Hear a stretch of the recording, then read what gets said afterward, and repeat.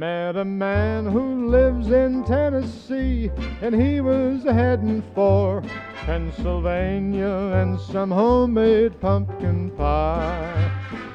From Pennsylvania, folks are traveling down to Dixie's sunny shore. From Atlantic to Pacific.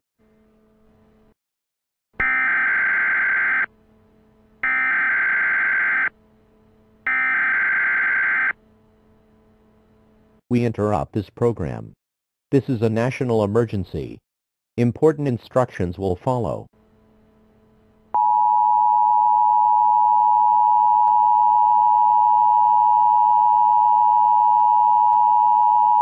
The following message is transmitted at the request of the United States government. This is not a test. A nuclear attack was commenced against the United States. Fifteen nuclear bombs have detonated in several areas across the country. They include Baltimore, Boston, Chicago, Denver, Detroit,